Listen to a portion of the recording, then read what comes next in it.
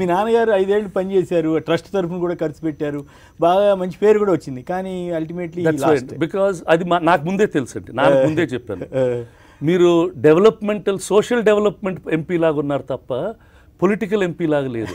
Okay communist వచ్చినా కాంగ్రెస్ వాళ్ళు వచ్చినా టీడీపీ వాళ్ళు వచ్చినా మా ఊరికి ఇది కావాలంటే ఇచ్చేసేసేవాళ్ళు. ఓకే తను తను ఏమన్నా తను ఫండ్స్లో మేరకు- ఇస్తారు? లేకపోతే మా ట్రస్ట్ నుంచి ఇచ్చేసేవాళ్ళం.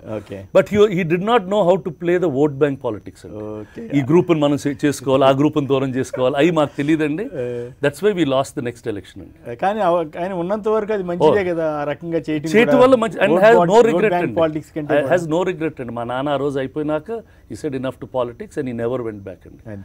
మా నాన్న ఉన్నన్నాళ్ళు he never used to have a gunmen also అండి. అవును తెలుసు. He నేను is అంటే- వాకింగ్ కూడా మీకు మళ్ళీనే వాకింగ్ కూడా ఫ్రీగా వచ్చేవాళ్ళు కదా ఆ. రోజుల్లో చూసేవాడు కానీ బట్ ఆయన పడిన కష్టాలు అవన్నీ చూస్తే మీ నాన్నగారు పడిన చెప్తుంటారు కదా అప్పుడు ఆయన రిస్క్ తీసుకున్న వైను మద్రాసు వెళ్ళినప్పుడు. చాలా- అవన్నీ మీకు అంటే అవన్నీ they just been imprinted in me అండి. అంటే మా నాన్న నైన్టీన్ సెవెంటీలో సిక్స్టీ ఫోర్లో వచ్చారండి. సెవెంటీకి ప్రేమ్ నగర్ వచ్చిన తర్వాత కదా ఫస్ట్ ఫస్ట్ రావణుడు తర్వాత ప్రేమ్ నగర్కి వచ్చాడు. ప్రేమ్ నగర్కి వచ్చే రోజు ఈ సినిమా ఆడకపోతే.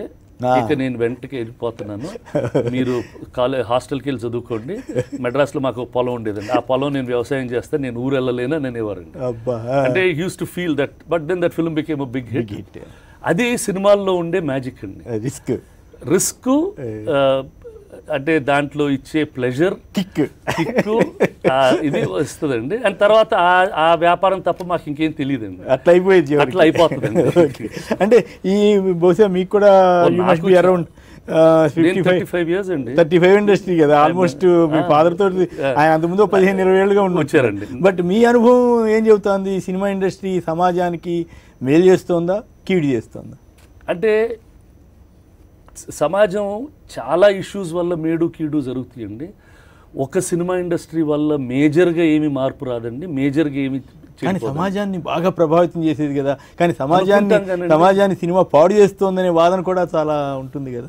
అంటే సమాజంలో ఎప్పుడు యాడమన్ వచ్చిన రోజుల నుంచి వద్దన్న దానికి వెళ్ళటం మనిషికి అలవాటు that is by nature man's habit నేను చాలా డిస్కషన్స్లో ఉన్నాను. ఇప్పుడు ఇఫ్ దొంగతనం తప్పైనా రేప్ తప్పైనా ఏదైనా ఇలాంటి తప్పు అయితే అవన్నీ సినిమాలు రాకముందే సమాజంలో ఉండేయండి. ఉండే. కాబట్టి అవన్నీ ఇట్ ఈస్ ఇప్పుడు all these things will happen సినిమాలో ఒక సీజన్లో గ్లోరిఫై చేస్తాం కొన్ని సీజన్లో తగ్గిస్తామండి ఇప్పుడు నిజంగా సిగరెట్ స్మోకింగ్ బ్యాడ్ అని రాసామండి ప్రతి సినిమా ముందు. ఎంతమంది మానేశారండి. అంటే చాలా వరకు ఇతరుడి మీద పోలిస్తే ఐడెంటిఫికేషన్ వచ్చింది. But still there selling cigarettes ఇప్పుడు అది నిజంగా బ్యాడ్ అంటే ప్రభుత్వం ఎందుకు దాన్ని ఆపేసేదండి? ఆపేయాలి. మద్యం మధ్య తప్పు అంటే ఎందుకు ఆపేయమండి? వీ హ్యావ్ డబుల్ స్టాండర్డ్స్ అండి. మనుషుల్లో సొసైటీలో there is a serious double standard బాగా చెబుతున్నారు మీ నాన్నగారి కంటే బాగా చెబుతున్నారు చక్కగా అంటే విషయ- డెవలప్మెంట్ అనే డెవలప్మెంట్ అనే పేరుతోటి we will justify what we are doing is wrong అండి. కరెక్ట్